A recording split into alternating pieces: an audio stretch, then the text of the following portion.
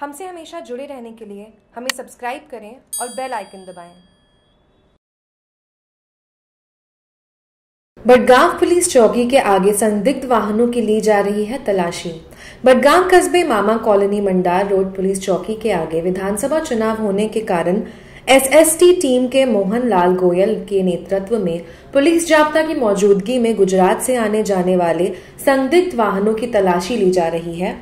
निर्वाचन आयोग की एसएसटी टीम बडगांव ने मोहनलाल गोयल के नेतृत्व में सुरेश विश्नोई ग्राम विकास अधिकारी, मोहनलाल अध्यापक और पुलिस जाब्ता की मौजूदगी में गुजरात से आने वाले संदिग्ध वाहनों की नाकेबंदी कर तलाशी ली गई सुबह छह बजे से दोपहर दो बजे तक। लगातार बडगांव पुलिस चौकी के आगे चुनाव आयोग के दिशा निर्देश अनुसार तलाशी लिए गए वाहनों की वीडियोग्राफी की गई। बडगांव से जागरूक टीवी की रिपोर्ट।